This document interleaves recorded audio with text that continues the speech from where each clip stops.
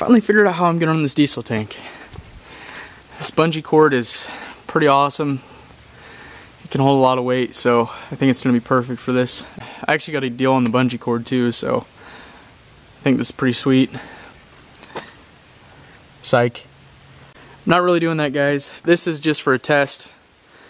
Probably got you guys though.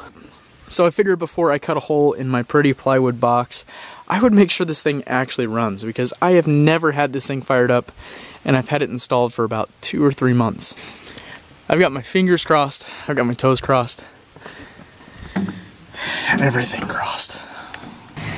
So I ended up just hooking it to the battery with this little piece of 16.2 I still had left over from the lights. I just barely had enough to make it. I actually had the low voltage error pop up when I hooked it up to my other batteries. It's blowing like outside temperature air right now. So it's blowing fairly decently too. Like I didn't know how powerful this thing would be. Okay, so I just got an error message and this bad boy shut down. It's not what we love to see, but I'm gonna go ahead and let it try to boot back up again and see what happens.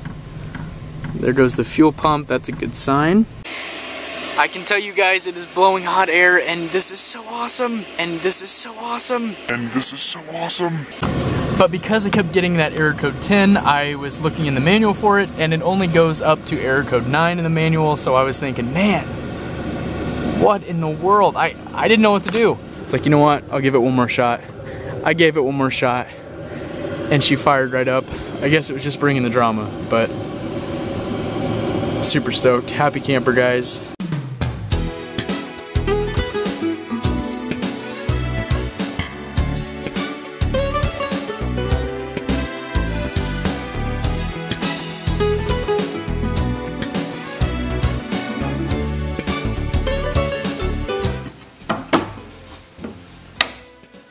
Yeah.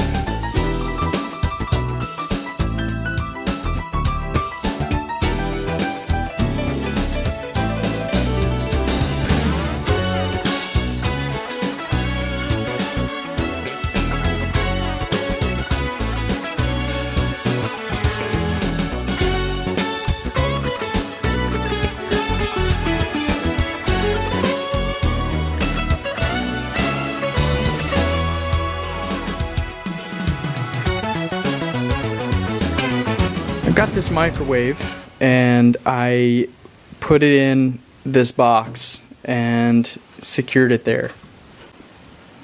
In this light, the stain looks pretty good, but in every other light, the stain is just, just not a vibe. I've got this table and I decided to use these little cargo hooks. You can't see them because I covered it up with the insulation and the um, fabric. And I've got a hole in my box and I will tighten this down and crimp it right there so it should stay. And I've also got screws into my box that shoot down into my big thick rubber mat. So this thing is already pretty solid, but once I get this table cinched up, it's gonna be a lot better too. Um, yeah, all right, I, I've got to turn on my Tim guys.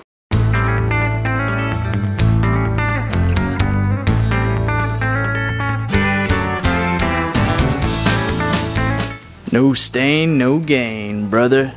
That was weird. That was really weird.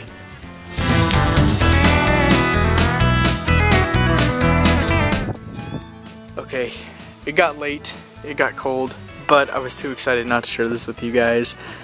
I've got the bed top made, I've got the bed side mounted, I've got the bed box mounted, I've got the countertop mounted.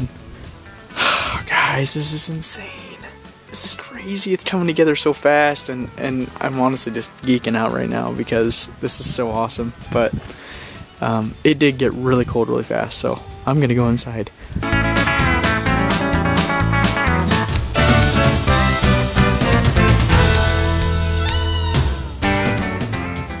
Alright, let's see, we've got fast wood, clean wood, downcut wood. I guess clean wood, right?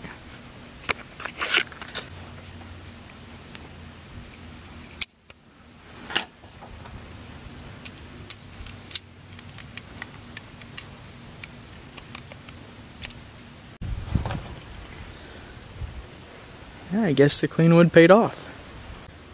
Right on, buddy.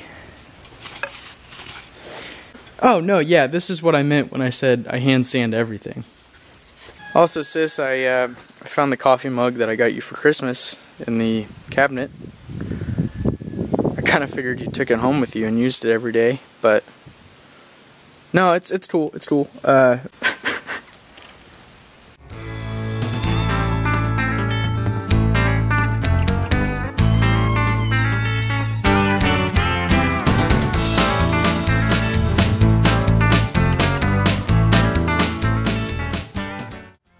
When you don't have a vice, you have to become the vice. Oh boy. Has anybody else played that game before? Because um, when you fail and this thing starts spinning like crazy, it really hurts. It really hurts your fingies.